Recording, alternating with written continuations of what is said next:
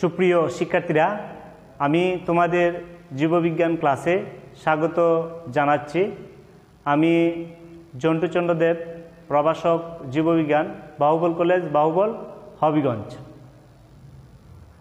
আমি তোমাদের জীববিজ্ঞান প্রথম পত্র থেকে ষষ্ঠ অধ্যায় ব্রাইফাইটা ও টেরিডোফাইটা থেকে যে বিষয়টি নিয়ে আলোচনা করব, সেই বিষয়টি হল রিক্সিয়া এসপি তেলাস। মানে রিক্সিয়া তেলাস নিয়ে আমি সংক্ষেপে আলোচনা করব। রিক্সিয়া নিয়ে আমি সংক্ষেপে আলোচনা করব। এই পাঠ শেষে তোমরা, এই পাঠ শেষে তোমরা রিক্সিয়ার শনাক্তকারী বৈশিষ্ট্য, আবাস ও গঠন ব্যাখ্যা করতে পারবে।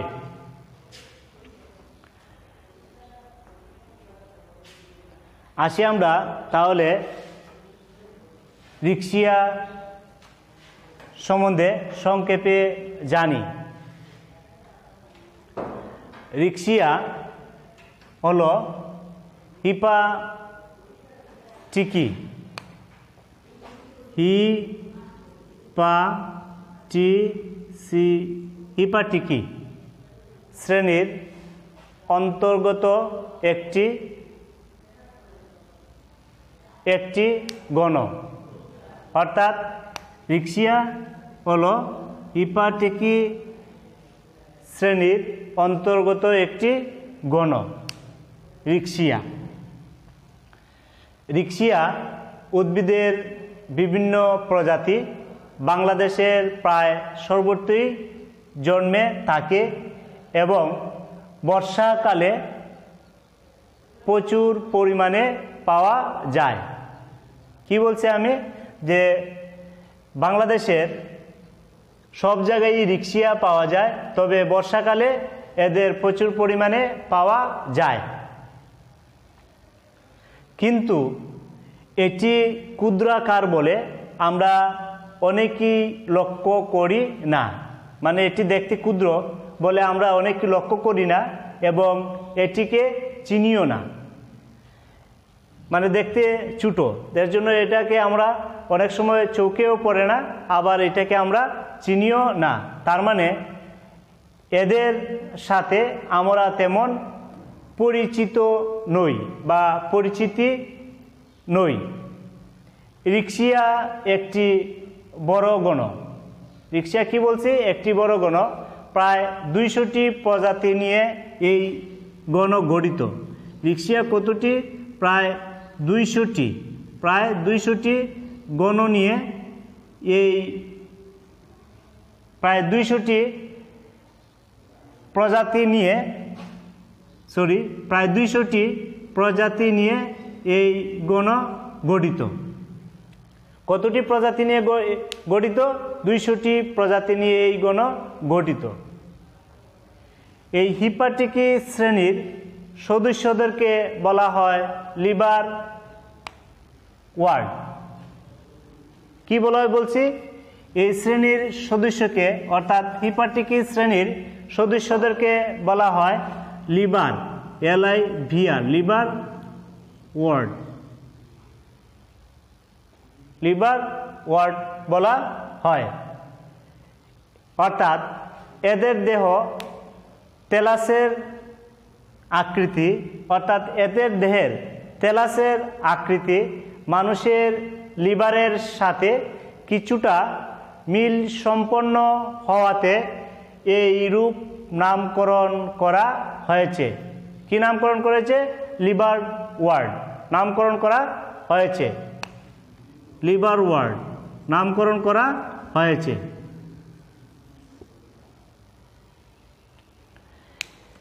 বাংলাদেশের থেকে রিক্সিয়ার প্রায় পঁয়তাল্লিশটি প্রজাতি শনাক্ত করা হয়েছে। বাংলাদেশে কয়টি প্রজাতি? প্রায় পঁয়তাল্লিশটি প্রজাতি। বাংলাদেশে প্রায় পঁয়তাল্লিশটি প্রজাতি শনাক্ত করা হয়েছে। মানে বাংলাদেশে। কয়টি প্রজাতি? পঁয়তাল্লিশটি প্রজাতি শনাক্ত করা হয়েছে। এর মধ্যে যেমন নতুন প্রজাতির মধ্যে রিক্সিয়া বেঙ্গালেন্সিস বা রিক্সিয়া ডাকেন্সিস এদের মধ্যে উল্লেখযোগ্য। রিক্সিয়া এদের মধ্যে এগুলো উল্লেখযোগ্য। তার মানে আমরা এই, রিক্সা হলো হিপাস হিপাটিকি শ্রেণির অন্তর্গত একটি গণ এবং বাংলাদেশের সর্বতি এদের কী করা যায়? এদের বাংলাদেশে প্রায় সর্বতি পাওয়া যায়। কিন্তু ক্ষুদ্রাকার বলে, এদেরকে আমি আমরা লক্ষ্য করি, লক্ষ্য করিও না এবং চিনিও না। এবং প্রায় দুইশোটি প্রজাতি নিয়ে এই গণ গঠিত। কটি প্রজাতি? দুইশোটি প্রজাতি। এবং হিপাটিক শ্রেণির সদস্যদেরকে লিভার ওয়ার্ড বলা হয়। এবং তার কারণ হলো মানুষের লিভারের সাথে সাদৃশ্যযুক্ত হওয়ায় এদেরকে এই লিভার ওয়ার্ড বলা হয়। এবং বাংলাদেশে প্রায় পঁয়তাল্লিশটি প্রজাতি, অর্থাৎ ফোরটি ফাইভ প্রজাতি কী করা হয়েছে? শনাক্ত করা হয়েছে। আসি আমরা তাহলে রিক্সিয়ার আবাসস্থল। কেমন? রিক্সিয়া এসপির আবাসস্থল।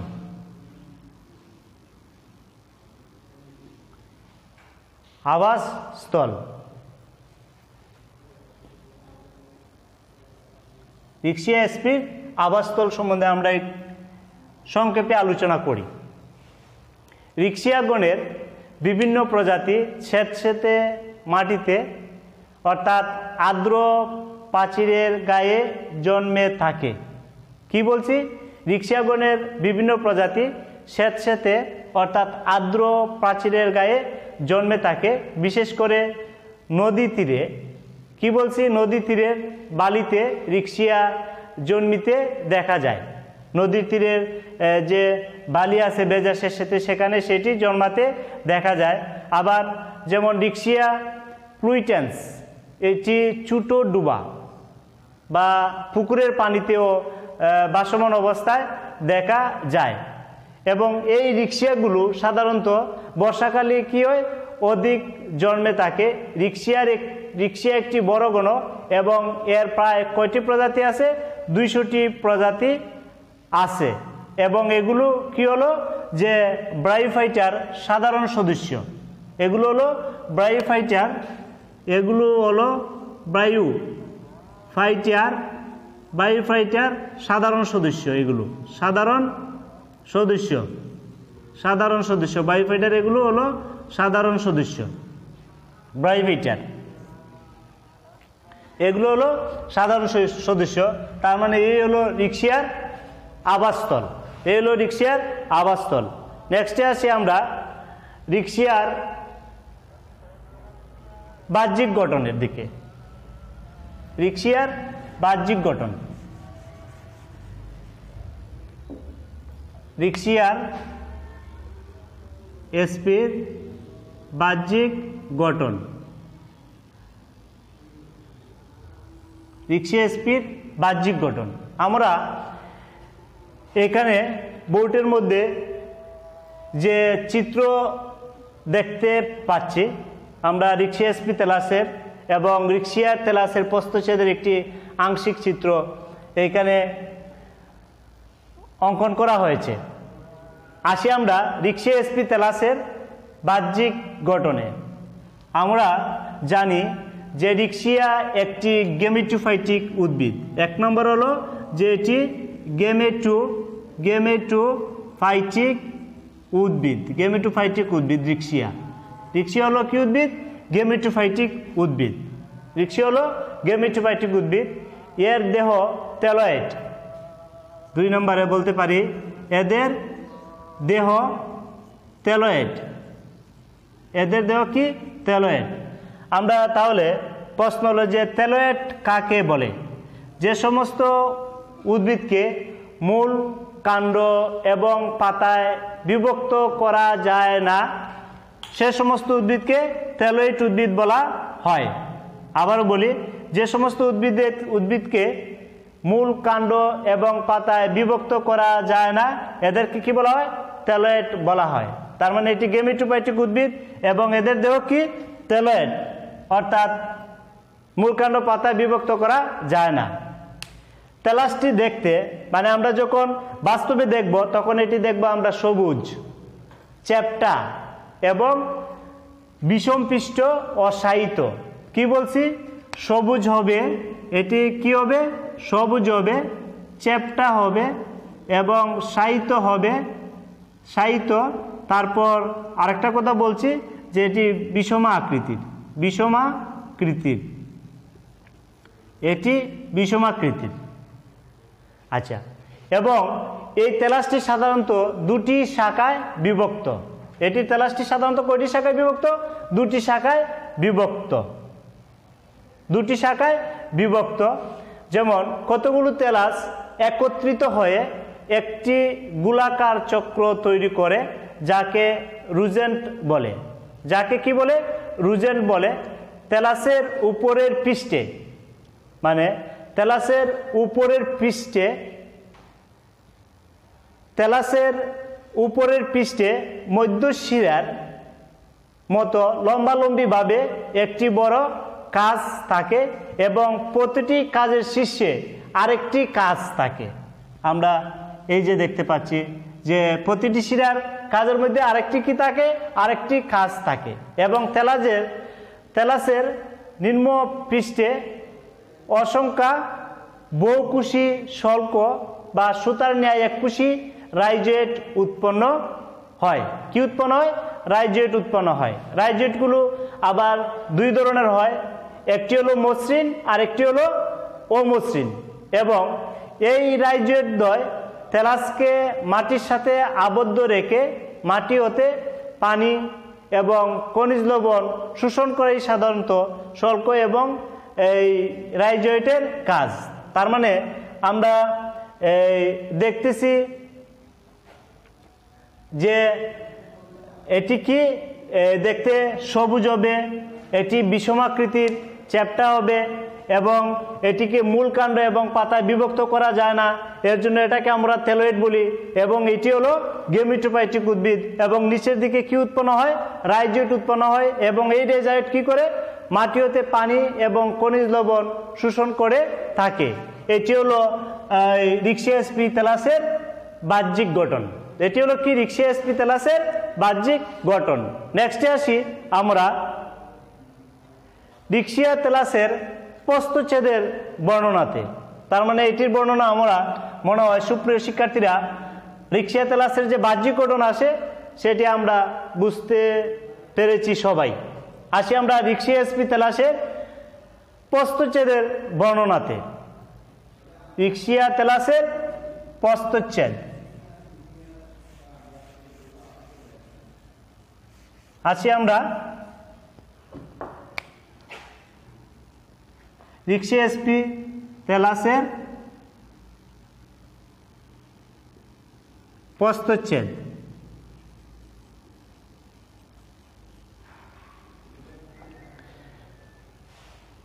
প্রস্তচ্ছেদে আমরা যদি দেখি, এটি হলো তার প্রস্তচ্ছেদের চিত্র এবং এটি আংশিক। প্রস্তচ্ছেদে তেলাসকে দুটি অঞ্চলে বিভক্ত করা যায়। কটি অঞ্চলে বিভক্ত করা যায়? দুটি অঞ্চলে বিভক্ত করা যায়।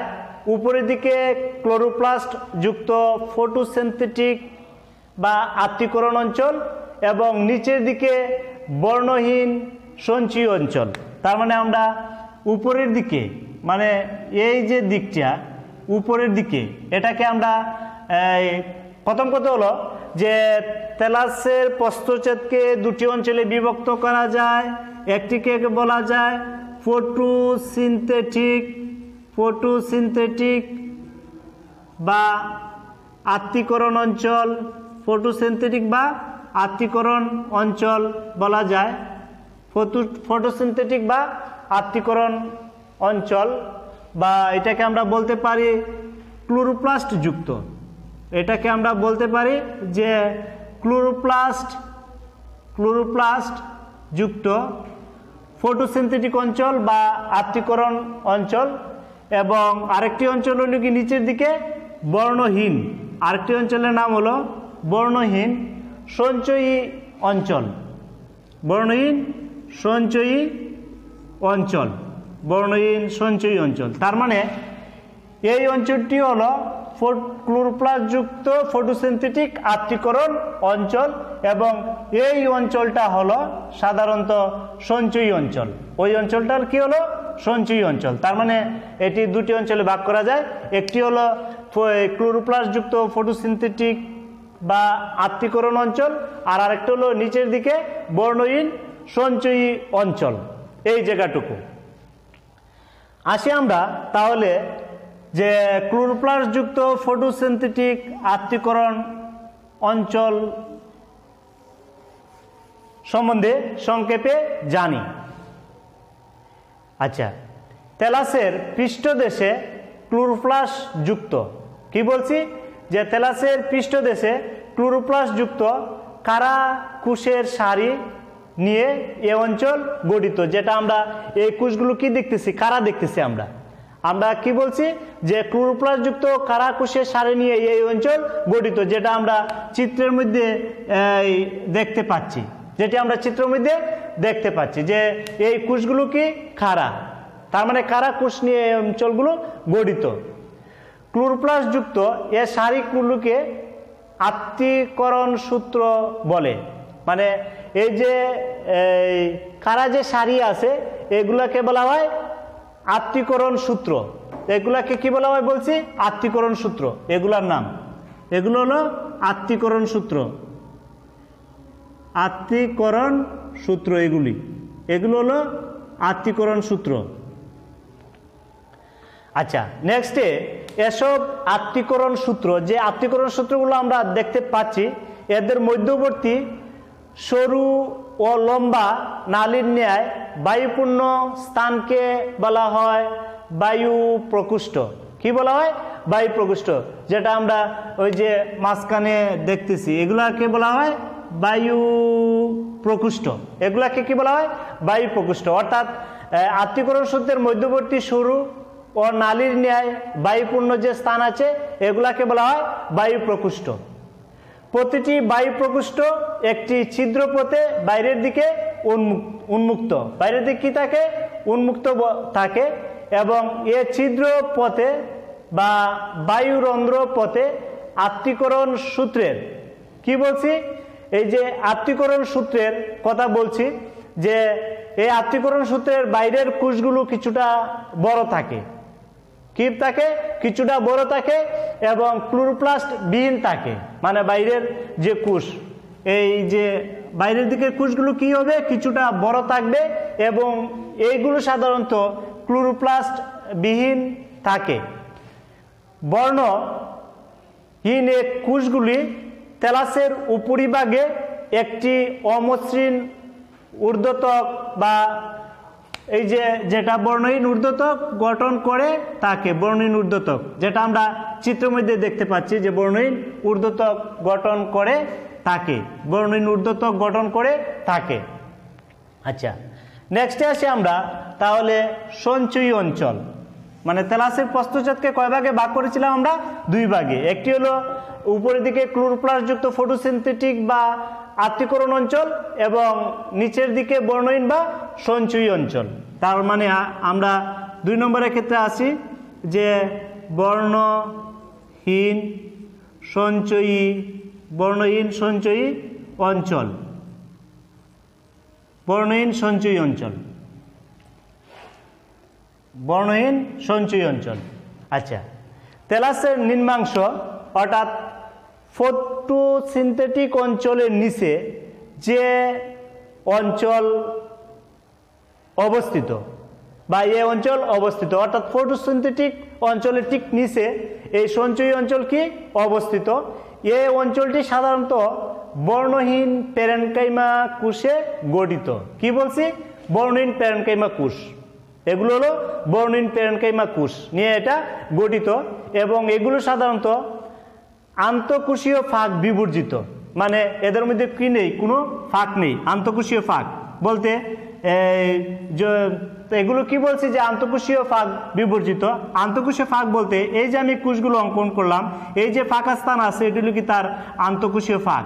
আমরা যদি এটুলি তার আন্তঃকোষীয় আন্তঃকোষীয় ফাঁক। কিন্তু আমরা যদি বর্ণহীন সঞ্চয়ী অঞ্চলে দেখি, তাহলে আমরা দেখতে পাচ্ছি যে এখানে কোনো আন্তঃকোষীয় কি নেই, ফাঁক নেই। অর্থাৎ এগুলো হলো আন্তঃকোষীয় ফাঁক বিবর্জিত। এ সকল কোষে প্রচুর পরিমাণ শ্বেতসার কণা সঞ্চিত থাকে এবং এদের নিম্নতক যে আছে, এগুলো কিন্তু সুসংগঠিত বা সুগঠিত। এ থেকে একুশি রাইজয়েট আমরা দেখতে পাচ্ছি যে একুশি রাইজয়েট নিম্ন দিকে বা বহুকুশি স্কেল নির্গত হয়। এখানে দুই ধরনের রাজ্য দেখতে পাচ্ছি। মানে নিম্নতক থেকে একটেল রাইজয়েট ও মসৃণ রাইজয়েট মসৃণ এবং স্কেল আমরা সবাই জানি যে এই রাজ্যটি কি করে? মাটির সাথে তেলাসকে সাধারণত ধরে রাখে। এই হলো আমাদের কি? যে রিক্সা এসপি তেলাসের প্রস্তচ্ছেদের যে দুটি অঞ্চল পডুসেন্থেটিক অঞ্চল এবং সঞ্চয় অঞ্চল, তার সংক্ষেপে বর্ণনা।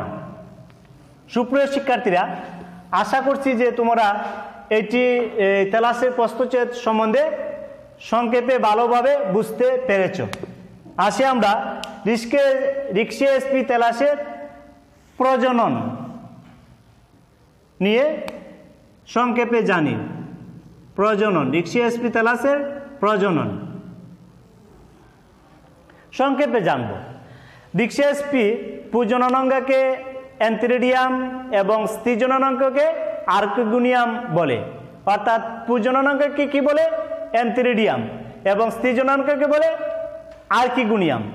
অর্থাৎ এদের নাশপাতি আকৃতির যে, এই অ্যান্থিরিডিয়ামে শুক্রাণু এবং প্লাক্স আকৃতির আক্রিগুনিয়ামে ডিম্বাণু উৎপন্ন হয়। আর্কিগুনিয়ামে কি উৎপন্ন হয়? ডিম্বাণু উৎপন্ন হয়।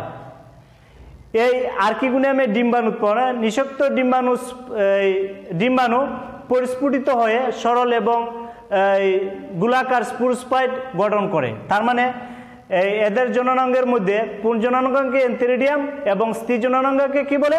আর্কগুনিয়াম বলে। এবং পুজনাঙ্গের এই এন্থিরিডিয়াম থেকে শুক্রাণু এবং প্লাক্স আকৃতির আর্কিগুনিয়াম থেকে কি উৎপন্ন করে?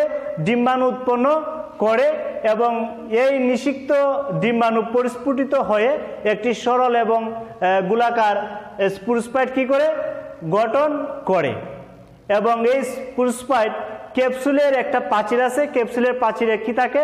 সীমাবদ্ধ থাকে এবং এর ভিতরে কি হয়? স্পোর উৎপন্ন হয় এবং যখন অনুকূল পরিবেশ পায়, তখন এগুলি সাধারণত একটি নতুন রিক্সিয়া তেলাস গঠন করে থাকে। আচ্ছা এটি হলো তার প্রজনন। আর আমরা যদি রিক্সিয়ার গুরুত্বের ক্ষেত্রে যাই, তাহলে রিক্সিয়া স্পিতালাসের গুরুত্বর কথা যদি আমরা বলি, গুরুত্ব রিক্সিয়া স্পিতালাসের গুরুত্ব। গুরুত্বের ক্ষেত্রে যদি আমরা বলি যে এটি মাটিতে জৈব পদার্থ সংযোজনে ভূমিকা পালন করে থাকে এবং পরিবেশ দূষণের সূচক হিসাবে কাজ করে, থাকে এবং বিবর্তন দ্বারা বিষয়ে স্থলজ উদ্ভিদের বৈশিষ্ট্য সম্পর্কে ধারণা দিতে সহায়তা করে থাকে। এটি হলো তার গুরুত্ব। সুপ্রিয় শিক্ষার্থীরা, আমরা আজকের পাঠে যে রিক্সিয়ার আবাসস্থল এবং তার সংক্ষেপে সংক্ষিপ্ত বর্ণনার মধ্যে তার বাহ্যিক গঠন এবং তেরাসের প্রস্তচ্ছেদ সম্বন্ধে আংশিক এবং প্রজনন এবং গুরুত্ব সম্বন্ধে সংক্ষেপে জানলাম। সুপ্রিয় শিক্ষার্থীরা, তোমাদের একটি বাড়ির কাজ দিচ্ছি। বাড়ির বাড়ির কাজ যে রিক্সিয়া এসপি তেলাসের শনাক্তকারী বৈশিষ্ট্য লিখো। শনাক্তকারী বৈশিষ্ট্য। লিখো, এই হলো তোমাদের বাড়ির কাজ। সুপ্রিয় শিক্ষার্থীরা, তোমাদের আবারও ধন্যবাদ জানিয়ে আজকের ক্লাস এখানে শেষ করছি। তোমাদের সবাইকে ধন্যবাদ।